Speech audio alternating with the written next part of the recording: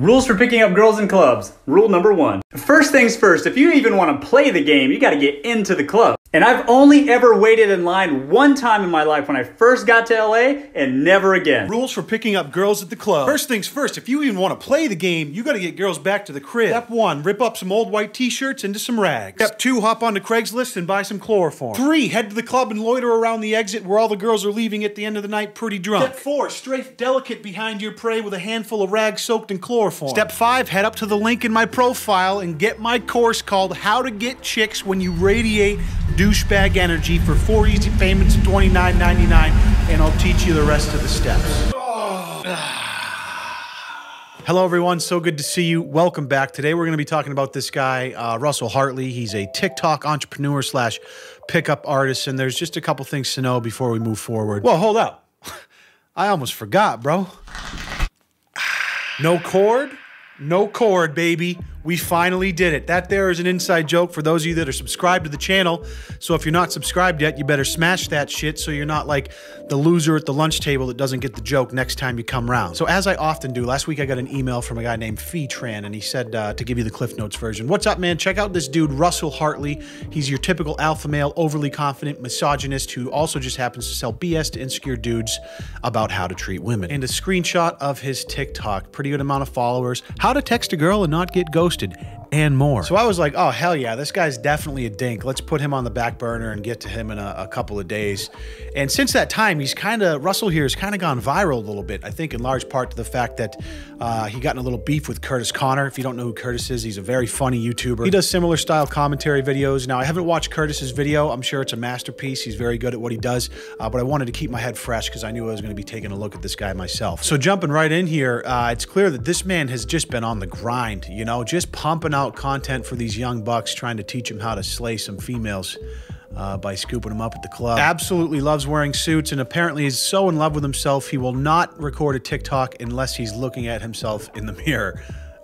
so just a slew of videos here. Let's pop in on some early ones to kind of see what he was all about when he first started in February. How I completely automated my corporate job and made a passive income for myself, part one. Hmm. So for those of you who've been following along, obviously at this point in the story, I'm working at a big corporation and a lot of the work you do in big corporations is like tons and tons of bureaucracy. And I start to realize that a large portion of my job is just basically like all the time. Yeah, I'm less interested in business bureaucracy, Russell, and, and more interested in how to conquer females, Russell. Let's move forward a little bit. What it's like being a bachelor in real life, part four. So in the previous part, I mentioned having a stable. So what this means if you're a bachelor is that every time you have sex with a new woman, that's a new mare Here in your stable. Here we go. And you want to keep doing this. You're going to have mares coming in and out of your stable. And the reason why they go out is because eventually you get to that conversation where it's like, so where's this going?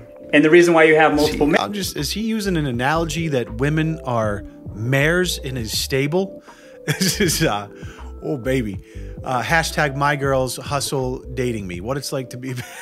just all right. Go on, Russell. Mares in your stable so that you can determine which one's a thoroughbred. But when the mares come to you eventually, they go, Well, where's this going? This obviously you're not serious about me. This isn't going anywhere. They're going to move on to greener pastures and exit your stable.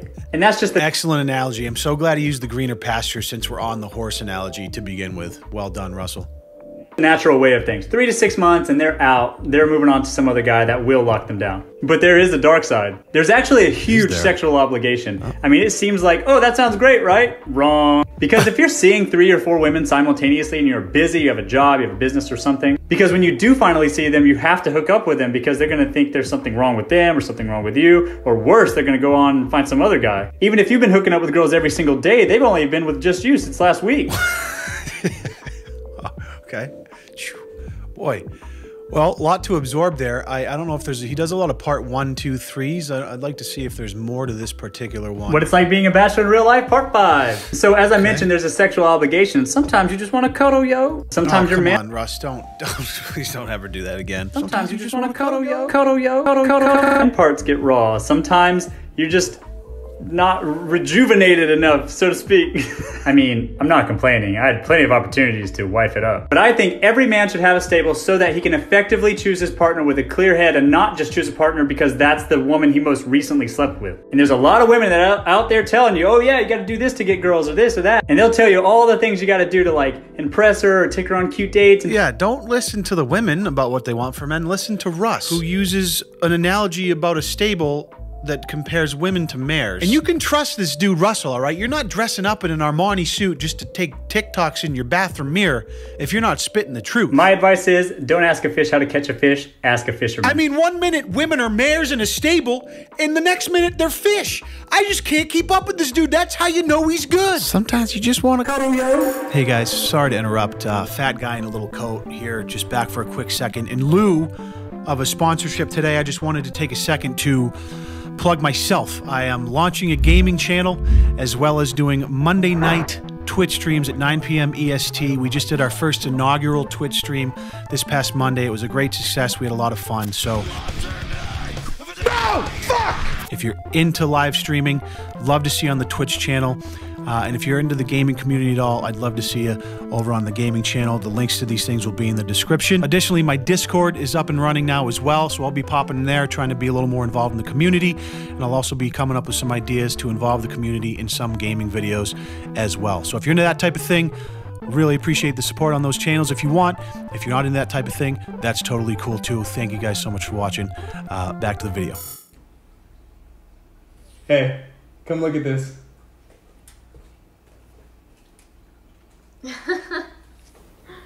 Don't threaten me with a good time. The only difference between dating apps and say other social media is that you don't really know if they're single or not. so if we shift our attention over to Twitter, I saw just a few days ago that Russell has gone viral over there now from this tweet by this dude that says, "I found him. This is it." The final boss of misogyny. 5.7 million views, huge thread.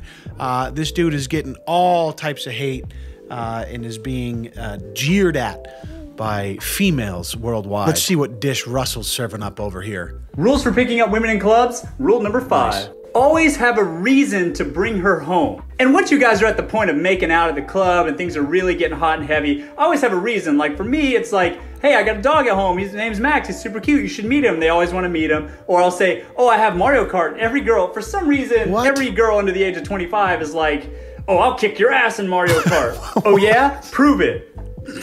We've never once played Mario Kart. Not bro. You, Russell, come on, Russell. There are lines that are not to be crossed, Russell. I don't care how conservative or how much of a scumbag chauvinist you are, like Russell here. You do not lie to somebody about playing Mario Kart. If you tried to pull that off on any girl that was worth her weight in salt, you would instantly have your neck snapped. You'd be getting fitted for a new pair of cement shoes and you'd get dropped off in the local reservoir. Fucking lying about Mario Kart got me steaming, Russell. Oh yeah? Prove it. We've never once played Mario Kart. what was that? it's like a faux sneeze to try and make a point. Russell, how many times did you rehearse that one? Or is that just your normal thing you go to when you're lying about Mario Kart, you inhumane piece of dog And sometimes I would be like unsure, like, oh, I don't know, or whatever. And you go, oh, yeah, no, I have to work in the morning anyways. You can't stay or anything. What? You're just going to meet Max and you got to get going. Or we're going to play one round of Mario Kart, and then you got to get going. Remember, I've never played Mario Kart with a girl, God, not once. Yeah, you told us so already, always Russ. have a plan. Remember, a confident man has a plan. A cocky man doesn't think he needs one. Almost forgot to do the threads. Uh, theory suit, hyper tailored, as you can see. Uh, Balenciaga, Prada, Burberry, Burberry, uh, Prada. Respect the drip. Oh no, you didn't do it. You did. You didn't do a respect the drip at the end. God damn it, Russell. Wow. Yeah, so it looks like Russell's just getting a little bit more unbearable uh, with each TikTok he posts, and he does a couple more down here. Shocker that when girls drink, they start to really loosen up. I mean, the hmm. next thing you know, they're dancing like strippers, or they're making out with each other. No girls, and I spied on the other side of the table a blonde Asian girl with fake cherries making out with one of her fake cherries. he kind of reminds me of a seven year old that just learned about what a penis does. Guess what? Penis. Making out with one of her friends, and I'm like, perfect. And a six foot one, well dressed white guy hitting on a Blasian is like shooting with a handicap. I mean, it's child's play. Woo! Six foot one, well dressed white guy. He did conveniently leave out, however, that he's a spaghetti arm string bean, 108 pounds soaking wet that possibly could blow away in a warm summer breeze. In the magnum opus What it's like dating models in Hollywood, part five. Anyways, I haven't talked to the Russian girl since, but whatever, that's the nature of the game. They come and go. It is what it is. It's no big deal. You find, I, I literally walking around on the streets of LA, I fall in love with a new girl every day. And dating models in LA is great because you never have to worry about them being like out of shape or gaining weight or whatever because they're already so hard on themselves. It's absolutely perfect. And as long as you have the resource, they're already so hard on themselves and hate themselves so much because of this unquenchable, unrealistic vision of what women should look like because of how social media has warped everybody's minds. I don't have to do any manipulating myself. They already hate it. They already hate themselves. It's perfect. Russell has figured it out in LA. This is the perfect place for him, really. I mean, you can pull them as often as you meet them. I mean, it's really amazing. I mean, these girls aren't going to be wifey, but like, who said anything about marriage? But full disclosure, I have met models that I've entered into a serious, committed, monogamous relationship that went on for years. So it is a case by case basis. But for the most part, I'm just letting you know this is what it's like. And you gotta have a strong constitution to date really high end models because they have a huge following on social media. They're waking up to 30 DMs from dudes that are like, good morning, beautiful, and all this stuff. That so is, you gotta be able to handle that. and that's exactly why high end models don't date weak dudes. And you have to have enough resources to provide because she's not working. Isn't calling them models by definition mean they're working. Like that's why they have all those followers. They're getting paid to be models. I don't know, but this guy clearly, uh, you know, some of his early ones, he's talking about the business bureaucracy, talking a little bit about polyamory, you know, getting his feet wet. It looks like Russell just started to spiral. He let a couple hundred TikTok followers, excuse me, a couple hundred thousand TikTok followers uh, really travel up into the, the depths of his brain and start to hit that bike pump. So his head just continued to expand to the point where he started spitting out some shit like this. Oh, well, it's basically Skillshare. Oh my gosh, to see the look on your face. Oh, oh my god! And that's what half-baked journalism gets you, Curtis Connors.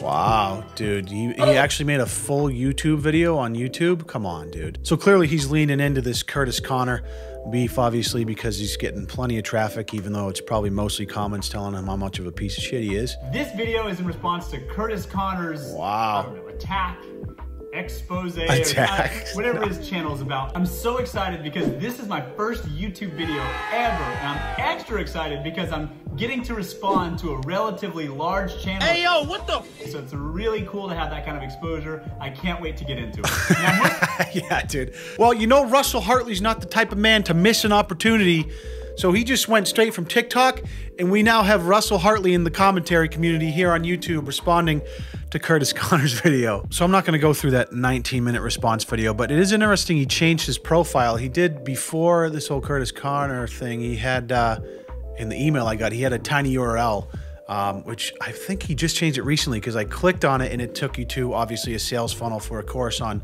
how to text a girl and not get ghosted, which is the main reason I wanted to make this place, make this video in the first place, is because uh, I can't stand these click funnels from from these pickup artists. But but this dude, man, I don't Russell Hartley. Listen, he his sentiment, the way he thinks, isn't necessarily unique. There's been a massive cultural shift in the last 10 to 20 years with social media in all of these dating apps, the swipe left economy now, where relationships are expendable, right? If something, you know, the first sign of struggle, you can just throw that one out and then swipe left a hundred times and, and find something fresh and new. So I'm not going to sit here and say this guy sucks because he likes polyamorous relationships or he wants to go to clubs and smash as many girls as possible. I personally find a lot of value in committed relationships and finding a deeper connection with somebody that you can share experiences with and share your life with. That's valuable to me. Maybe it's not to Russell, to each their own. And the same goes for everybody watching this. Obviously, everyone has their own idea of what a relationship should be.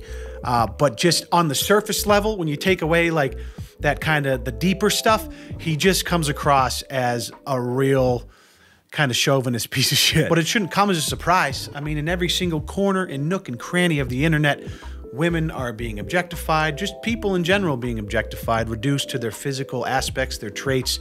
And, uh, you know, it's this whole social media game has kind of flipped that whole thing on its head. So the fact that Russell's being honest about it and how that's what's important to him. You know, I'm sure a lot of men feel that way that just don't put themselves on blast uh, via TikTok in an Armani suit in their bathroom in the mirror. And listen, for every girl that's disgusted by this dude and leaving a comment on his TikTok and that Twitter video that went viral, there's probably another one that would be just as happy to go to the club and get hammered on champagne and, and go home with Russell and skip a round of Mario Kart to clap cheeks. You don't skip Mario Kart! It really just depends on what your values are. And my values tell me that, wow, this guy's uh, definitely a douchebag, but hey, at least he's being honest about being a douchebag. So there you have it, Russell Hartley, uh, TikTok's number one pickup guru, number one equestrian expert, how to stable the mares. Just uh, incredible advice all around. And uh, if you ever need something Armani, certainly I'm sure he'd be happy to give you a reference on a suit that fits a, you know, 103 pound, 6'1 white boy with arms the size of wrists. Again, nothing wrong with that, Russell. You know, nothing. I just want to keep you, just want to bring you back down to earth here, where the rest of us peasants live that occasionally don't wear Armani suits.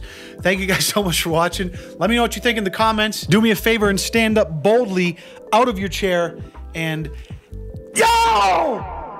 Hip thrust that motherfucking like button for me, uh, and we'll see you soon. Peace.